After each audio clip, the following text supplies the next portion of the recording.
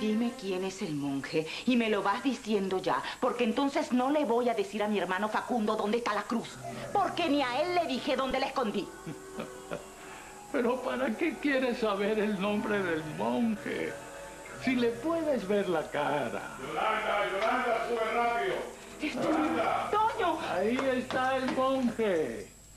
Está allá, arriba.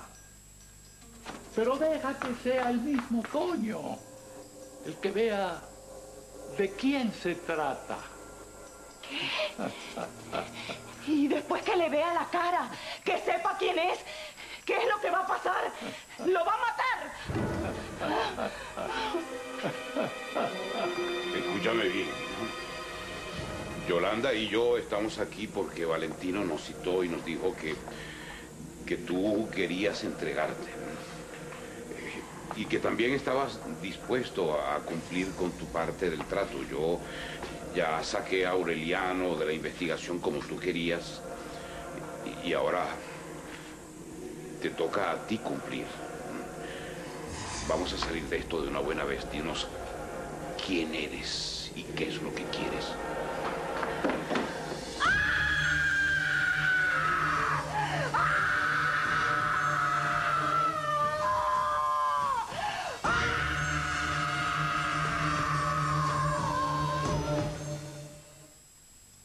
Cualquiera de los Borovsky puede ser el monje, pa. Chamo, yo me pongo a pensar y a mí me da burda de miedo descubrir que sea mi mamá. Ay, no, cállate, Nicky. Eh, Pia es, es la mejor hermana del mundo y, y ella no puede ser una asesina. Ven, yo tampoco puedo desconfiar de mi mamá, chamo. Ah, pero yo sí desconfío de mi mamá. Bueno, pana, pero ¿qué te pasa a ti, vale? ¿A ti te lavaron el cerebro o el corazón, ah? ¿Cómo tú puedes acusar a tu propia madre, vale? Además, yo no creo que a tu mamá le den las neuronas como para planificar un homicidio, porque... Ah, bueno, al menos que sepa qué significa la palabrita, aunque lo dudo, ¿no? Mi mamá es esclava del dinero, de las estúpidas convenciones sociales. El día que se den cuenta de que ella no es tonta, sino que se la da, quizá ya todos estemos muertos. No vuelvas a decir algo así, Clementina. Ay, mi mamá es adicta al dinero y al poder. ¿Y qué es lo que quiere el monje? La cruz de los sueños.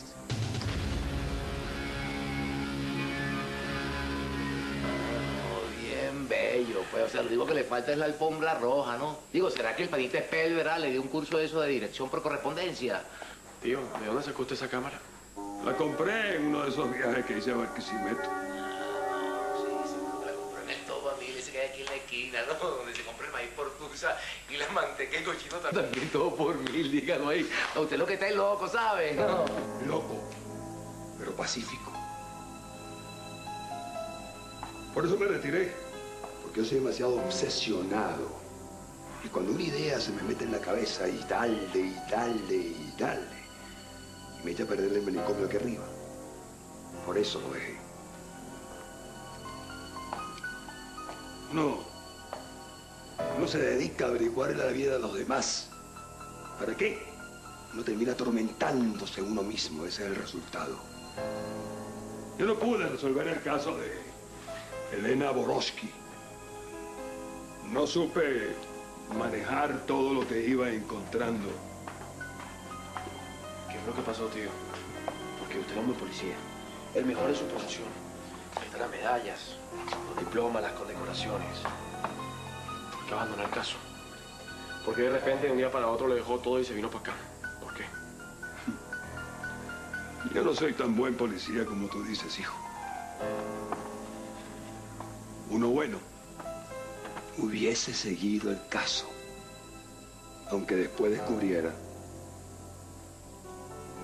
que lo que más ama en la vida podría ser una asesina.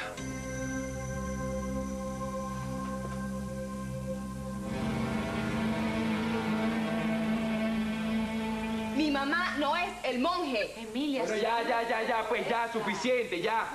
Ya, ya. Vamos a dejar el temita del monje, pan, y vamos a ocuparnos lo de nosotros. Que es saber la verdad sobre la muerte de la abuela. Parece sí de una vez en paz a Emilia. Ujú. Tú sabes muy bien que Emilia está así porque la vieja Elena fue su mamá. ¿Qué? Pero, pero ¿de dónde sacan esa tontería? ¿Qué es eso? Gracias, Yadira. Deberías trabajar para CNN. ¿Tú eres la hija de Elena? ¿Tú eres mi hermana? No, no, no, no, no, mira, bueno. Nosotros no estamos seguros todavía, pero casi. Pero bueno, sí, sí, sí podría ser. Sí, porque es que en los expedientes de la señora Elena, ¿no? Apareció una prueba de embarazo.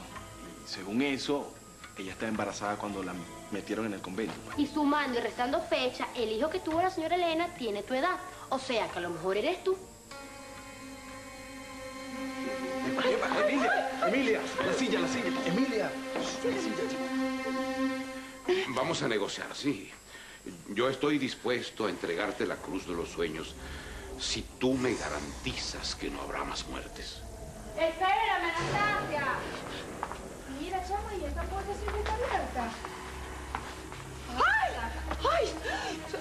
Dios mío, bicho. ¿Y, y esta fiesta cómo se llama? Sofi, ¿y ustedes qué hacen aquí?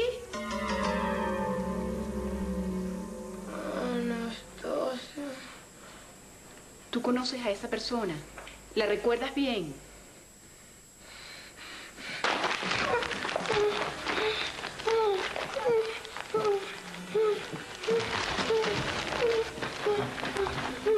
Espera, no te vayas. Enfermero, se escapó la paciente. Mira, doctor.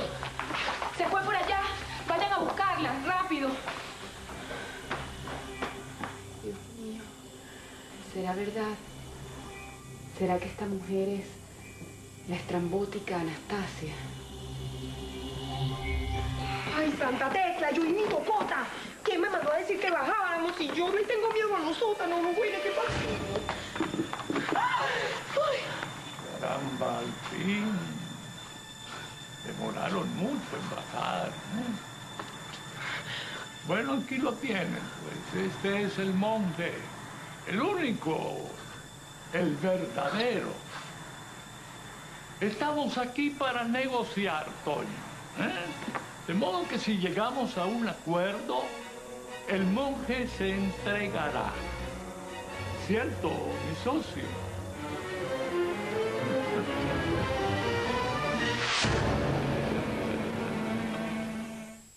Entonces, tío, cuénteme, ¿por qué fue que tuvo que abandonar la investigación?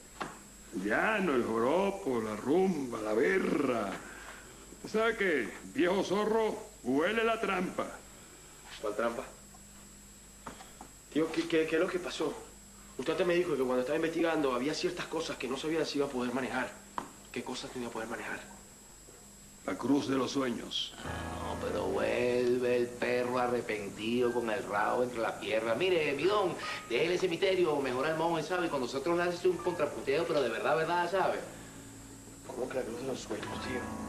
¿Qué tenía, qué tenía usted que ver con esa joya? ¿Qué pasó? ¿Es que no la pude encontrar o qué? Ah, pero bueno, vale, qué cruz ni qué caimán con bota, vale. Mire, bidón, nosotros no estamos interesados en ninguna joya, a ver. Nosotros lo que queremos es encontrar el monje, ¿sabe? O sea, ese, el bichito ese que tiene complejo de manicurista, ese que usted sabe. Eso es lo que pasa. Que ustedes dos son unos burros. Unos desesperados que no ven más allá de sus narices. Todo, todo, absolutamente todo está conectado. No hay causa sin efecto. No hay acción sin reacción. Un buen policía lo sabe. Pues que ustedes, ustedes, jamás van a atrapar al monje.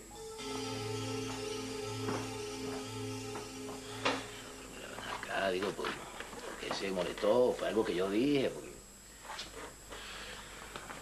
Mira, te agradezco, Caimán con botas, que la próxima vez que mi tío esté a punto de decirnos algo importante, cierres el pico.